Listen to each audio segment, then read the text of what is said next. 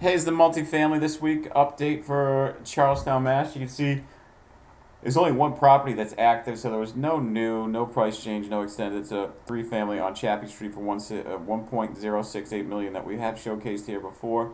So you can scroll down to watch that. We also have two and under agreement, one Harvard Place. It's a two family for 1.375 million, and I believe this is a property that is almost like a single family that has an in-law uh, would be the best way of describing it. It's about 2,900 square feet with four bedrooms and four baths. And then we got 46 to 50 Rutherford, which was a two-family for 1.85, and this is also uh, pretty much like a single-family property. Uh, look at this. This is in in uh, in Charlestown. This is like a zero days it took to go under agreement. Look at this place. It's like a something you'd see in Andover. Pretty awesome.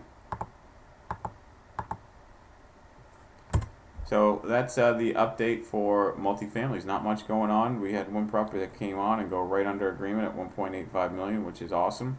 And uh, if you have any questions, give me a shout 978-835-6870. Thanks.